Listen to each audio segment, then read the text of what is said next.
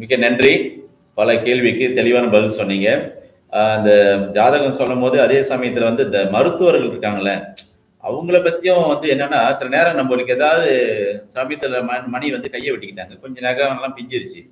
அப்ப ரத்தம் நிக்காம போயிட்டே இருக்கு. பிளாஸ்டர் போடலாம்னு பார்த்தா முடியல. கிளினிக் கூட்டு போறோம். அங்க போகும்போது நம்மளுக்கு ஒரு ஆறுதல் சொல்றதுக்கு தான் மருத்துவர் இருக்கணும். இது- இது கொஞ்சம் தான் பரவாயில்ல ஓகேன்னு. அவரு பார்த்துட்டு அவரு பயப்படுறாரு. ஓ இப்படி அவ்வளவு பெருசாயிடுச்சு அப்படின்ட்டு. அப்போ அப்போ இந்த மாதிரி தான் அந்த ஜாதகம் சொல்றதும் இந்த மருத்துவர்கள் வந்து நம்ம போகும்போது நம்மள ஒரு ஒரு உற்சாகமான வார்த்தைகள் கொடுத்து இது சின்னதான் இது டக்குன்னு ஆயிரம் டக்குன்னு செஞ்சாங்கன்னா சில நேரங்கள் மருத்துவ பார்க்கும்போது நம்ம மிரண்டு போயிடுறோம். அவங்க பயன்படுத்துறது இல்ல அந்த மாதிரி கூட அவங்க நம்மள பயம் பொறுத்துறாங்க ப்ரோ நம்ம அவங்கள பயம் பொருத்தணும் விச் மீன்ஸ் எப்படின்னா இப்போ எனக்கு ரீசெண்டா ஒரு மேட்டர் நடந்தது சொன்னோன்னா அது உண்மை அப்படி இருக்கக்கூடாது தான் தப்பு தான் நம்மளுடைய ஞானம் அவங்கள பயப்பட வைக்கணும்.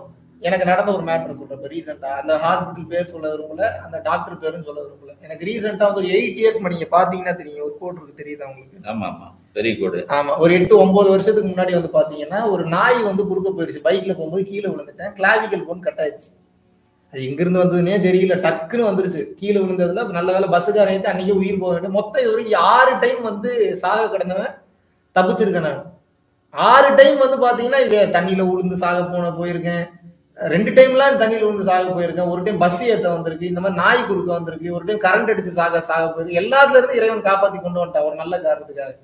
இந்த கிளாவிக்கல் ஒன் கட்டானோடனே இதுக்கு வந்து ஒரு ஃபாரின் பாடி வந்து ஒன்று வைக்கிறாங்க. ஃபாரின் பாடினா என்ன ஒரு பிளேட் வைக்கிறாங்க. உங்களுடைய இது பாஷையில் சொன்னா பிளேட் வச்சு ஒரு ஆறு ஸ்க்ரூவோ இன்னும் சம்திங் வந்து வைக்கிறாங்க. இப்போ ரீசெண்டாக இப்போ ஒரு இப்போதான் ஒரு ரெண்டரை மூணு மாசத்துக்கு முன்னாடி இது எடுக்கணும் எடுக்கணும்னு மைண்ட்ல வந்து தோணிக்கிட்டே எது தேவையில்லாமல் தேவையில்லாம ஒரு ஒரு பொருள் எதுக்கு உள்ளுக்குள்ள இது எடுத்துடலாம் அப்படின்னு சொல்லிட்டு ஒரு எண்ணம் வருது. அப்புறம் திருப்பூர்ல இருக்கக்கூடிய ஒரு ஹாஸ்பிட்டல்ல போய் அட்மிட் ஆகுறேங்க. அந்த ஹாஸ்பிட்டல் பேர் வேணாம் எதுக்கு அது? ஆனா நல்ல மருத்துவர்கள். அங்க இருந்தவங்க எல்லாருமே நல்ல நல்ல மருந்து நான் அவங்களை எப்படி ஷாக் பண்ணேன் அப்படின்னு வந்து நான் சொல்றேன். இது இது வரைக்கும் ஓப்பனா சொன்னேன்னு தெரியல. எங்க சொல்லியிருக்கேன் அப்படின்றது தெரியல. பட் ஈவன் தோ சொல்றதுக்கு விருப்பப்படுறேன்.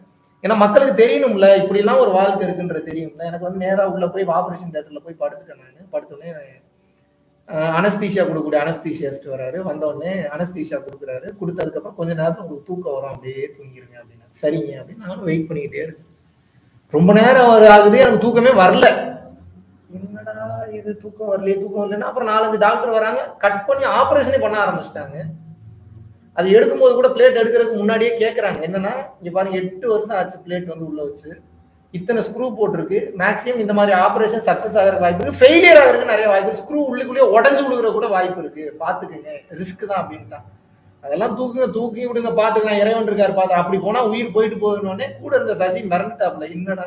நாங்கெல்லாம் பயப்படல மனுஷ ஜென்மமே கிடையாது. எப்படி இவ்வளவு தைரியமா நீ போற? அப்படி உயிரை வச்சுட்டு நம்ம என்ன பண்ண போறோம்? என்ன இங்க நமக்கு என்ன வேலை? கிணறு வெட்டுற வேலை நமக்கு. ஒரு வேலையும் கிடையாது. போனா ஜாலியா போக வேண்டியது. அந்த தைரியத்தை போய் படுத்தாச்சு. தூக்கமே வரல. அந்த நர்ஸ் கீழே குனிஞ்சு குனிஞ்சு என்னை பார்த்துக்கிட்டே இருக்குது. கீழே குனிஞ்சு குனிஞ்சு பாக்குது குனிஞ்சு குனிஞ்சு பாக்குது பார்த்த உடனே எதுக்கு பாக்குறாங்க அப்படின்னு பார்த்தா நான் தூங்கிட்டேன் தூங்கிட்டதான் செக் பண்றாங்க எனக்கு தூக்கமே வரல.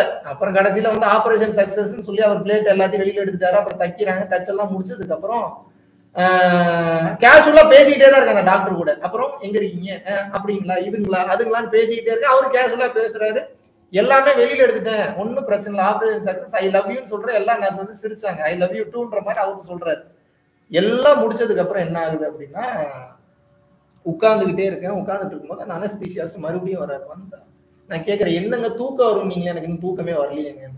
அட போங்க உங்களுக்கு டோசேஜே பத்த மாட்டேங்குதுங்க. அதனால நீங்களும் ஜாலியா பேசிட்டு இருக்கீங்க. நானும் அப்படியே விட்டுட்டேன் அப்படின்னு வந்து அவர் சொல்றாரு. என்னது அப்படியே விட்டுட்டீங்களா? அப்படின்னு சொல்லிட்டு அப்புறம் நான் ஃப்ரீயா விட்டுட்டேன். அப்புறம் என்ன ஆகுது அப்படின்னு வந்து கேட்டீங்கன்னா என்னைய வந்து ஆபரேஷன் பெட்ல இருந்து தூக்கி இன்னொரு பெட்ல வந்து படுக்க வச்சு தள்ளி கொண்டு ஐசியூ வார்டில் கொண்டு போய் விடணும். நாலு நர்ஸ் சுத்தி நின்றுட்டு நாலு பேர் நாலு விதமா பேசிக்கிட்டு இருக்காங்க. ஒருத்தர் ஒரு நர்ஸ் என்ன சொல்லுது அப்படின்னா இது இப்படி இப்படி அப்படி இருந்து இப்படி தூக்கணும்னு இன்னொரு நர்ஸ் இல்ல இல்ல இப்படி இருந்து அப்படி தூக்கணும்னு இன்னொன்னு இல்ல இல்ல இவர் இவர் இப்படி இப்படி திருப்பணும் அப்படின்னு எனக்கு கடுப்பாகி போச்சு. ஏதோ ஒரு இன்ஸ்ட்ரக்ஷன் கத்திட்டேன் நான். ஏதோ ஒரு இன்ஸ்ட்ரக்ஷன் கொடுங்க இத்தனை இன்ஸ்ட்ரக்ஷன் கொடுத்தீங்கன்னா நான் எதை ஃபாலோ பண்றது? அப்படின்னு சொன்னேன் அப்படியே கத்து சுப்பு ஆயிட்டாங்க இல்லைங்க தூக்கி இருந்த பெட்ல வைக்கிறதுக்கு உண்டான ஸ்டிச் பிரியுமான்னு கேட்டேன்.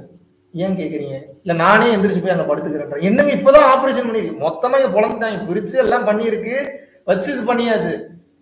ஸ்டிச்சு பிரிய பிரியுமா அப்படிங்கிறது இல்ல பிரியாது. தள்ளுங்க நானே படுக்கிறேன் இல்ல இல்ல ஏதோ ஆயிரப்போ ஒன்னாக தள்ளுங்க. நானே எந்திரிச்சு போய் அந்த பெட்ல படுத்துட்டேன். எப்படி ஆபரேஷன் பண்ணி முடிச்சோன்னு எப்படி ஒருத்தன் எந்திரிச்சு போய் கொடுக்க முடியும்? அப்புறம் ஆபரேஷன் பெட் தேட்டர்ல அப்படியே தள்ளிட்டு போறாங்க.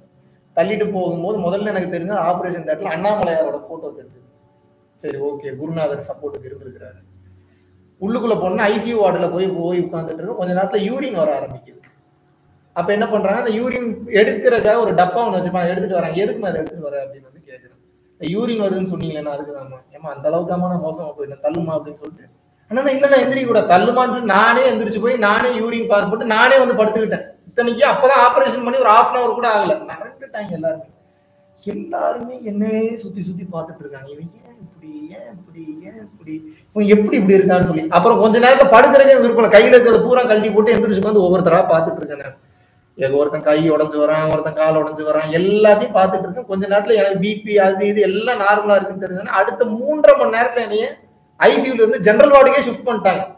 ஜென்ரலா ஒரு நாள் ரெண்டு நாள் வச்சு அப்சர்வ் பண்ணுவாங்க. என்னோட ஆக்டிவிட்டியை பார்த்து போய் ஷிஃப்ட் பண்ணிட்டாங்க. போய் படுக்கிற தூக்கமே வர மாட்டேங்குது எனக்கு. எனர்ஜி அவ்வளோ over flow over flow over flow over flow ஆகிட்டே இருக்கு. தூக்கம் சுத்தமா வரல கண்ணெல்லாம் பியூப்புல்லாம் பெருசு சரியான எனர்ஜி ஆயிடுச்சு. கடைசியில் என்ன பண்ணிட்டேன் அப்படின்னா கதவை திறந்து ரிசப்ஷனுக்கும் என்னோட ரூமுக்கும் நடக்க ஆரம்பிச்சிட்டேன் நான். சுத்தி இருக்கவங்களாம் பார்த்து மிரண்டான் இவனுக்கு இப்பதான் ஆபரேஷன் பண்ணிட்டு என்னடா அவன் வாக்கிங் போயிட்டு இருக்கான்னு சொல்லி சார் இப்படிலாம் நீங்க நடக்க கூடாது சார். இல்லம்மா நான் நல்லா தான் இருக்கலாம் சார். அதுக்காக இப்படியா சார் பண்றேன்னு சொல்லி பெட்ல படுத்து அப்புறம் ஏதோ மயக்க மருந்து கொடுத்தேன். தூங்கவே வச்சாங்க. அப்புறம் அடுத்த நாள் காலையில இருக்கிறேன் அடுத்த நாள் டிஸ்சார்ஜ் பண்ணி வீட்டுக்கே போன் வந்து சொல்லிட்டாங்க இப்போ உங்களுக்கு ஒரு டவுட் வரும் இது எப்படி பாதி இவர் என்ன பெரிய தெய்வ பிறவியா? ஒரு தெய்வ பிறவியும் கிடையாது. இது எல்லாரும் தெய்வ பிறவி தான் இங்க. மனம் தனியா உடல் தனியா பிரிக்க தெரியணும் உங்களுக்கு. வலி வேதனை சொல்றதெல்லாம் மைண்டு தான் கடத்தி கொண்டு போய் மீ- மூளையில கொண்டு போய் சொல்லும் உனக்கு வலிக்குதுன்னு சொல்லும். அந்த மைண்டை பிரிக்க தெரிஞ்சிருச்சு அப்படின்னா நான் மணி ஹவர் கணக்குல பிரிக்கிறத கத்துக்கல. அது கொஞ்சம் லேட் ஆகும் ரெகுலர் பிராக்டிஸ் தான் வரும். சில பல நிமிடங்களுக்கு எப்படி பிரிக்கிறதுன்றது எனக்கு கத்துக்கிட்டேன் நான். அது பரம்பொருள் யோகம் பண்ண பண்ணதான் அந்த தன்மைக்கு நான் போனேன் நான். பிரிச்சதுக்கு அப்புறம் என்ன ஆகுது? வலி தெரிய மாட்டேங்குது. மைண்டு தனியா உடல் தனியா பிரிச்சோம் என்ன ஆகுது? எனர்ஜி ஃப்ளோ ஆகிக்கிட்டே இருக்கு. ஃப்ளோ ஆகிக்கிட்டே இருக்கு. To the core to the core to the core energy flow ஆகுது. ஒரு கட்டத்துக்கு மேல என்ன ஆகுது அப்படின்னா அந்த டயர்ட்னஸ் டோட்டலாவே கொடுக்கல. அப்போ இரையாற்றல் ஒரு மனிதனுக்குள்ள செயல்படும் போது எப்படி செயல்படுதுன்றது பல டாக்டர் அன்னைக்கு மரல வச்சாங்க அதுக்கப்புறம் எப்ப அந்த ஹாஸ்பிட்டல் போனா நம்ம பார்க்கறதே ஒரு தினசா தான் பார்ப்பேன். நான் யாரு என்ன ஏதுன்றது தெரியாது. நம்ம அவ்வளவு பெரிய விஷயம் எதுவும் உலகத்துல சாதிக்கல அது வேற மேட்ரு இருந்தாலும் கூட அவன் பயந்தானா இல்லையா அந்த நேரத்துல? யாரா இவன் தினுசா இருக்கிறானே. கிட்டத்தட்ட அந்த அனஸ்தீஷா கொடுக்குறவர் ஒரு அரை மணி நேரம் முக்கால் மணி நேரம் பேட்டி எடுக்கிறார். யாரு நீங்க? எங்கிருந்து வரீங்க? ஏது என்ன ஏது எப்படி இப்படி இருக்க முடியுங்களோ எல்லாம் கேட்டுட்டு இருந்தாரு. எல்லாமே பேசிட்டு இருந்தா அப்புறம் அவருக்கு வந்து விளக்கம் கொடுக்குறேன் எல்லாம் முடிச்சதுக்கு அப்புறம் அதுக்கப்புறம் நான் வீட்டுக்கு வரேன். அப்புறம் ஒரு ஒன்றரை மாசம் நான் குளிக்காம இருக்கிறேன். ஏன்னா இந்த க- கட்டுப்பிரிவு குளிக்கவும் கூடாதுட்டாங்க பாடியில இருந்து ஒரு கெட்ட ஸ்மெல் கூட வரல. எப்படி வராம இருக்கும்? யோகம் பயிற்சி முயற்சி. அப்புறம் வாழ்வில் என்றைக்கும் மகிழ்ச்சி. நூறு சதவீத அர்ப்பணிப்போடு ஒரு விஷயத்தை நீங்கள் செய்து கொண்டே வரும்போது கருணையோடு நீங்கள் செயல்படும் போது இறைவன் உங்களுக்கு அனைத்து அருளாற்றலையும் அருளையும் வழங்குவான். அதில் எந்த வித மாற்று கருத்தும் இல்லை.